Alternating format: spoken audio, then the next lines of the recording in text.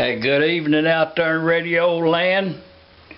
You all know YouTube won't let me put no music in the background on my videos. So just go ahead and imagine, no, just go ahead and turn it on. I'm going to say about number six on the dial. Some Bonnie Raitt. Oh, listen up. Take notes. Hey y'all, this is a good one. Take notes. And I got this cornmeal out here. That's that self-rising cornmeal. Oh, it feels so good. But let's let's not use that. Uh, we're going. Well, let's save this over for something else. What we going to use today? Take notes now. What we're going to make today is potato chip cornbread, and I was blessed. I was blessed with these chips right here. Oh, I'm blessed to get them. So let's go ahead and this this recipe is actually in the book. The but uh, you know I would suggest you not cooking by the book. You know you can't you cannot cook soul food that's all we got. We, if we had some more, we would use them. But that's, uh, you know, that's two cups. That's all that is. Uh, we'll go put them in there. Potato chips uh, ground up as fine as you want to ground them. And them was kind of misshapen, different sizes. And I took an ordinary glass and crushed them up to a uniform size. And if we and, and I do got two eggs laid out there, but we're not going to use them. We're not going to put no salt. Don't put no salt in this because it's the tater chips got enough salt in them. What we're going to put in there is this that baking powder, and we're going to put. Y'all see about how much that is? And I don't know what kind of spoon this is. Don't quote me on it. But you see about that was, uh, actually that was a lot of baking powder, but let's put some more. You really want this, you, you, you really need to help this to rise all you can because potato chips is kind of, they kind of heavy.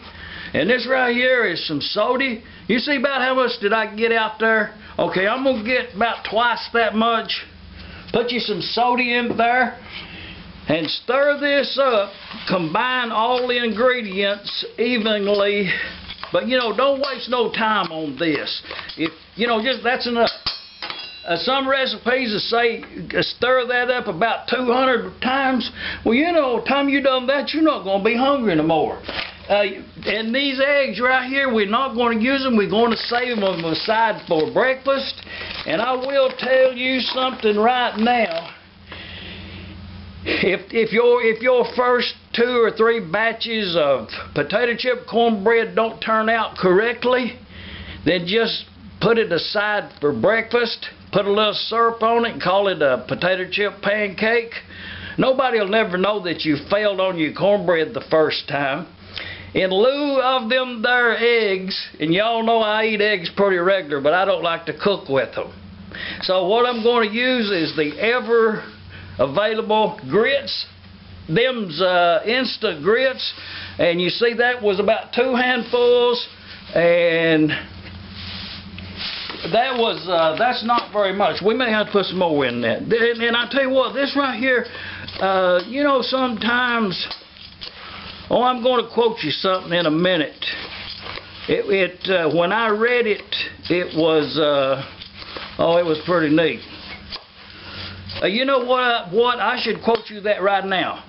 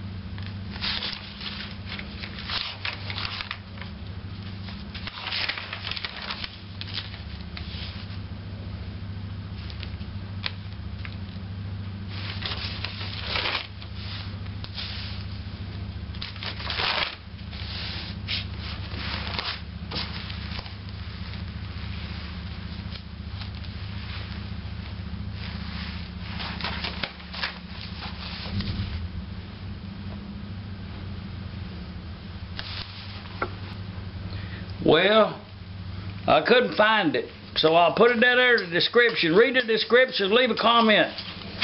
Well, uh, recap, what we got there is potato chips crushed, we got that there uh, instant uh, grits, and we got that baking soda and baking powder. That's all we got in there. No salt, no eggs. No, uh, let's get on with it. And I do have the oven heating at about 425 degrees. And we're going to bake this for about 30 minutes actually. And to be realistic, it's going to take you that long. Just, just deal with it. It's about 30 minute baking time. We're going to use buttermilk in there, not to stray from the recipe. And uh, you want to put enough buttermilk in here to where that you end up with a, a uh, uh, well, let's, I'm going to show you. Th this right here is, well, it's better for me to show you this right here and even tell you how much to put in there. You just kind of observe me like over the shoulder cook. It's going to take a little more.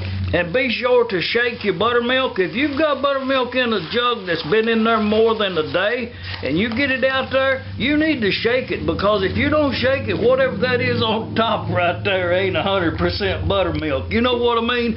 If you do, leave a comment.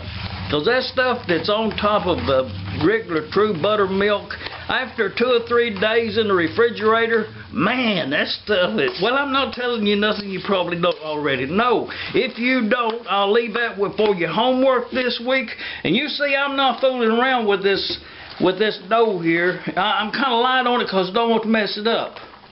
That's all the tater chips I had. If I get it too thin, I don't have any more tater chips to put in there because that's all that, well, that's, we've used them up. We had a whole bunch of them to start with, but, oh, that's not enough. See, I, but it's, uh, this is the correct way to do it. A little bit at a time. You know, you can always go a little bit more, but it's hard to go back. That's what the oven's for. It's preheating now, and I got two cast iron skillets in there, and that's still not enough. I'm gonna have to get on with this. See, I should not did this right here. What, what you need to do is not be a beating this around too much, and I've done went too much. This this bread right here may fall flat. I, I just want you to know the possibility of this ain't the first time I've cooked this. Okay, that's all I'm gonna put in there. You know, if it ain't enough, but I believe it's just right. Oh yeah. Don't cut it. But no, that's not enough. If it's not enough, oh, you you you will thank me for that little. You know, it was a, a little side trip there to make an important remark. Okay, that's enough. Uh, you know I'm having second thoughts, but that's enough. And I'm going to show you what I'm going to do now. The and it's what you will be doing too, and it will definitely be worth your time to get it done. I'm gonna get one of them skillets out. Actually, I got two of them over there, and, and this is hot grease right here. And if you're gonna have any problem with your hot grease, uh, get somebody else to assist you with it. The main thing is the, to cook in a cast iron skillet and start out on the hot side. Oh, that's gonna be good right there. Oh yeah. You know, I have. I would think I'm gonna have an extra pan. I'm just gonna leave that like that right there. Oh, that's gonna be good. And that turned out better. And and and and I, and I tell you what. Now, don't be setting this right here on your counter there and, and messing it up. It's hot. I mean, there's some oil in there, about an eighth of an inch, about an eighth of an inch uh, thick. That oven was about 425, so you can see why I cautioned you about that sizzle there. And I do have enough there. I may, I may fry some hoe cakes. That's what it looks like. I may fry some hoe cakes out of this. I may add some corn to that. I think I'll do that. But we're going to get this bread, and we got them pinto beans. Don't forget them pinto beans that we're going to have with this. That was the whole reason for this, is, uh, now we're going to let that bake. Hey, hey, we're going to let that bake for about 20, 25 minutes.